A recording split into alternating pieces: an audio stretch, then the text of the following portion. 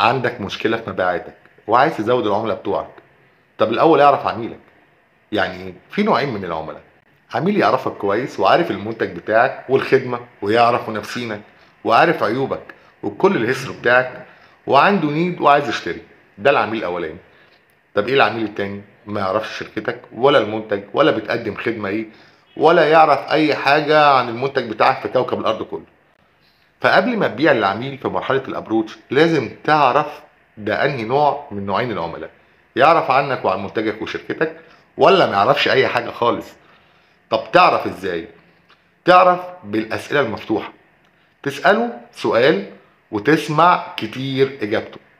يعني تسأل سؤال في خمس ثواني وتسمع زي ما العميل عايز يتكلم. دقيقة دقيقة. براحته. سيبه براحته. اسمع كتير هتفهم عميلك أنهي نوع من العاملين. طب تسأل إزاي؟ أسئلة مفتوحة. حضرتك تعرف إيه عن المنتج بتاعنا؟ ده سؤال. واسمع. طب حضرتك عارف المنتج بتاعنا بيقدم خدمة إيه؟ وليه؟ وإمتى؟ وبتستخدمه إزاي؟ هيقول لك آه أعرف. ما أعرفش. أول مرة أسمع عن المنتج بتاعكم. آه أنا المنتج بتاعك شفته كتير و... وليه مميزات بس أنا أسمع عنه عيوب كذا. يبقى أنت عرفت إن ده عارف عن المنتج والخدمة وعن شركتك.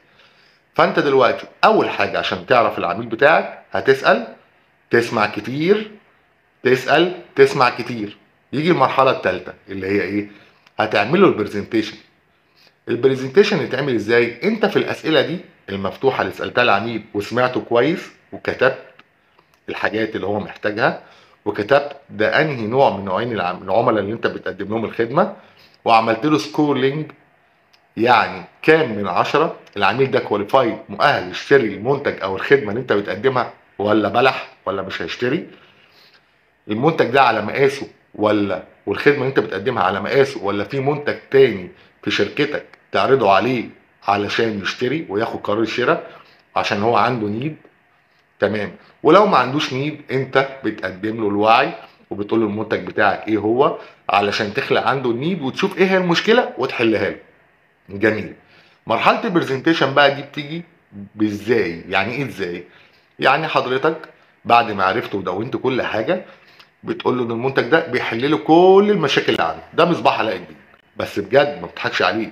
إن أنت اديته المنتج اللي على مقاسه اديته البدلة اللي على مقاسه. ما زودتش عليه اديته بدله واسعة ولا ضيقتها عليه قوي. على إمكانياته. عرفت إزاي وقيمت عميلك بالأسئلة. كل ما بتسأل وتسمع كل ما هتعرف عميلك محتاج إيه وتديهوله. ولو العميل رضي عنك هرشح لك عملاء كتيرة جدا وهتزود دخلك وهتبقى من ال top 3 اللي إحنا قلنا عليه. يبقى أنت تسأل تسمع كتير تعمل ال presentation بإزاي؟ اللي هو طريقة البيع الغير مباشرة اللي هو ال emotion ال sales story مش ما تستخدمش الطريقة البيع المباشرة التقليدية اللي هي اشتري منتجنا زور فرعنا المنتج ده أحسن منتج أحسن سعر لا. قول له المنتج بتاعك هيوفر له إيه؟ وقت ومجهود وهيريحه ويحل المشكلة اللي عنده اللي هو عايز يسمعها وهيدفع عليها فلوس هو مش يشتري كلام في الهوا. ولا هيحسها وإن العملاء بتوعك اللي اشتروا منك دي آرائهم راضيين عنك.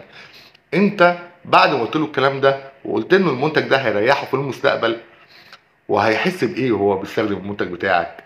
وإيه الشعور اللي هيبقى عنده؟ دي طريقة البيع غير مباشره دي الطريقة الناجحة اللي بتخلي العميل إن أنت فعلا بتبيع له حاجة هو محتاجها مش بتنصب عليه ولا بتضحك عليه ولا بتشقلب البيع زي ما بيقولوا. اعمل اللي أنا قلت لك عليه مبيعاتك هتزيد وهتبقى راضي على اللي أنت بتعمله وهتدي كل واحد الحاجة اللي هو محتاجها. شكرا جدا ليك.